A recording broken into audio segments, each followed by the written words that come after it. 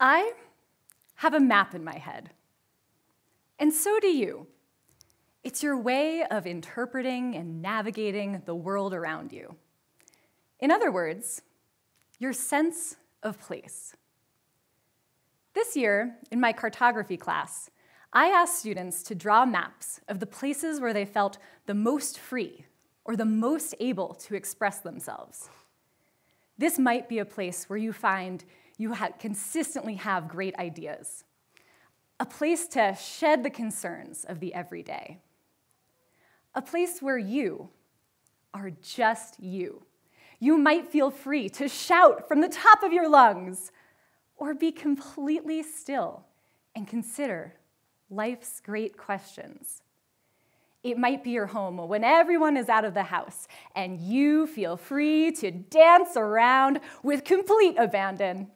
Speaking, of course, from personal experience. You likely have a few of these. Here's what the students came up with. You can see that these are steeped in the natural world. There are rivers, lakes, mountains, and trees. And each one is associated with particular colors, textures, paths, and emotions.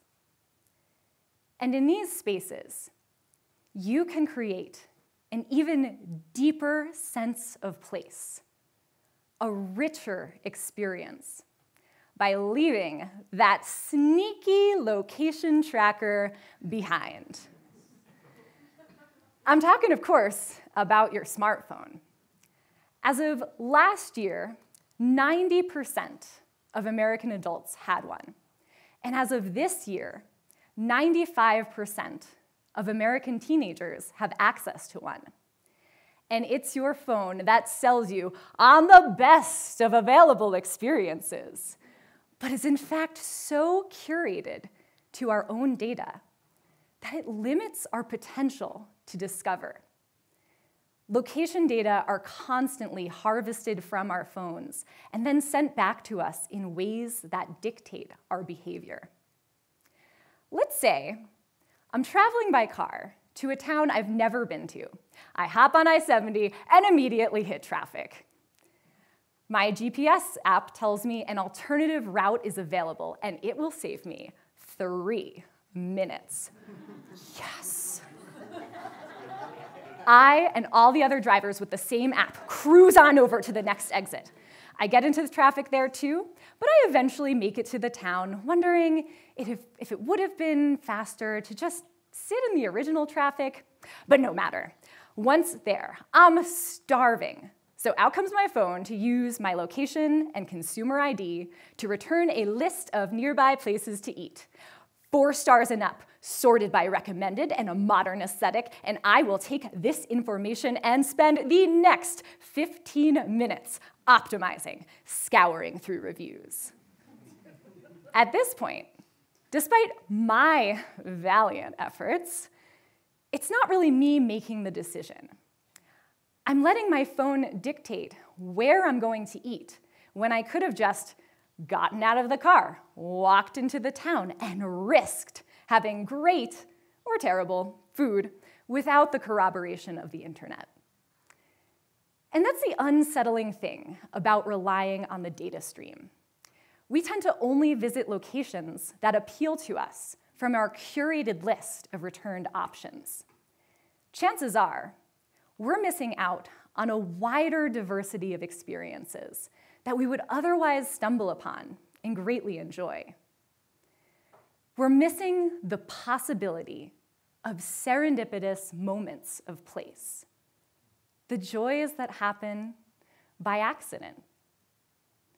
Of course, it can be a scary thing to leave your phone behind, given our extreme reliance on it. There's even a term for this nomophobia. the fear of being without your mobile phone or cell service. We're also trained to equate having our phone and our location with a sense of safety.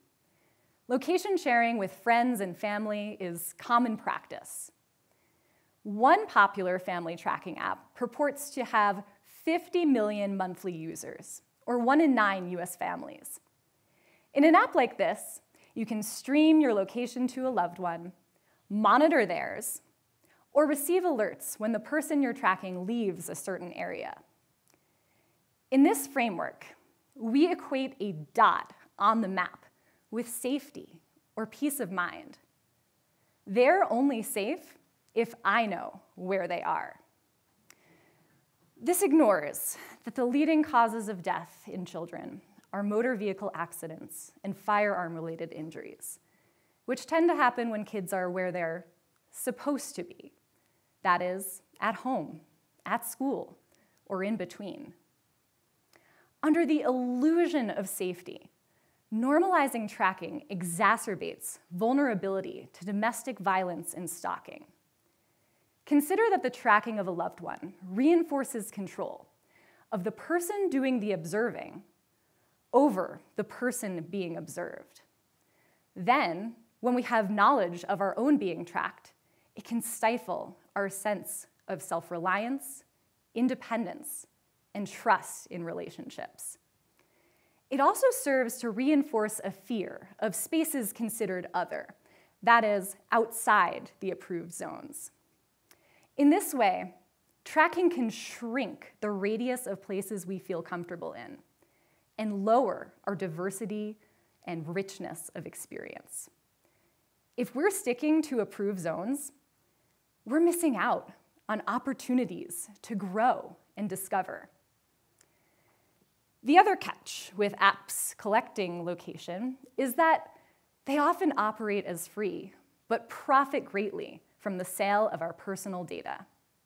In 2020, that same family tracking app made 20% of its profits by selling time-stamped locations of users 13 and older to multiple data brokers sometimes within just 20 minutes of the initial recording. In fact, this is common practice for apps like collecting location. When creating an app, developers will borrow snippets of code from existing ones, like a piece that helps show your dot on the map, a piece that helps you log in via Facebook, or a piece that helps the app work on the Android operating system.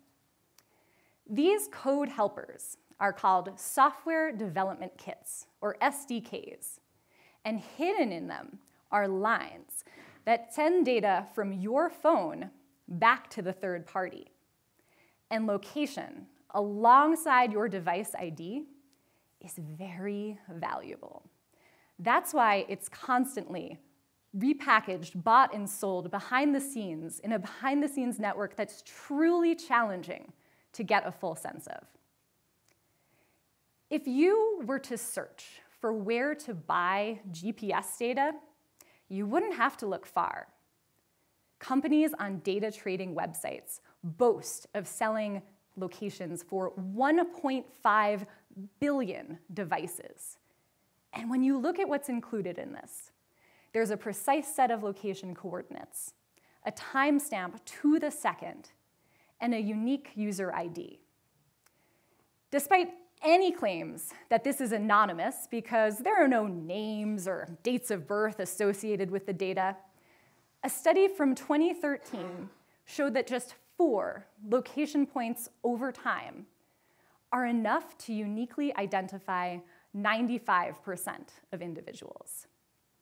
Purchasers of data from this network now include the FBI, the IRS, and the Department of Homeland Security, who can all access it the same way you can, with money.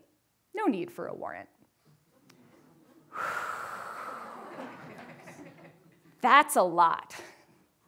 And the uncertainty of not really ever being able to be sure where our location data are going or what they're used for add to the shadowy power of their hold on us. So let's return to that space where we feel free and untethered. Sometimes I think of this space like a journal.